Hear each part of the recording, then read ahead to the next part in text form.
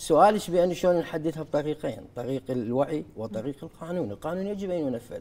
الصين في 1600 كانوا ما يسيطرون عليهم. الصين ما عندهم عشاير. لا مو مو هذا قصدي. قصدي بشر وهم يريد يشوف اثنين وثلاثة وأربعة. ولكن عندما فرض القانون بأن أكثر صيني تدفع اثنين، ضرائب.